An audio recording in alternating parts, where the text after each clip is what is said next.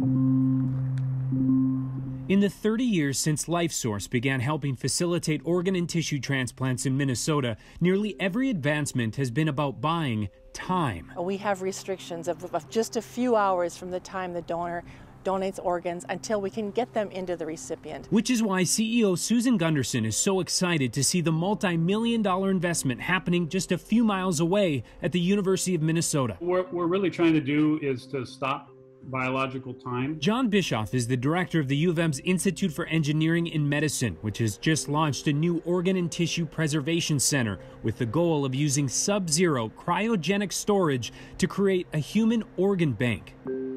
What we're trying to do is to put these tissues and organs into a glass. So we basically add these biological uh, antifreeze molecules and then we lower the temperature in such a way that we don't crystallize and you're uh, able to preserve that biological system essentially indefinitely. I'd imagine it's one thing to freeze it, it's another thing to thaw it out and, and make it work again. Is that where this research comes in? Absolutely. Bringing back these bulk systems that are in a glassy state, bringing them back has been a problem.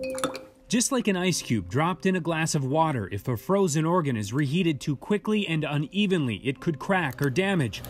And that's where iron oxide nanoparticles come in. Without touching the organ, we can have a radio frequency field that basically activates those nanoparticles and then uniformly and rapidly returns the organ or the tissue from this glassy state without cracking. The process has already worked successfully on insect and fish embryos, but the U of M is now working with LifeSource to see if it will translate to human organs. What this research will do is help us fight the enemy of time. I'm incredibly excited about it. It's breakthrough science, it's innovation, it's once in the country, then once in the world that this help work is happening, and it's happening right here in Minnesota. The one question people might have is, is this research going to be taking away from those that are waiting for organs? No. The, the opportunity for transplantation is always the highest priority. So if the individual's organs are suitable for transplant, we must and we will find a patient and save their life.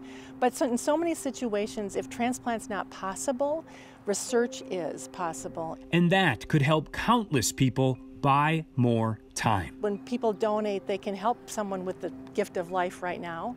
They also can know there's a hope that they can help people in the future.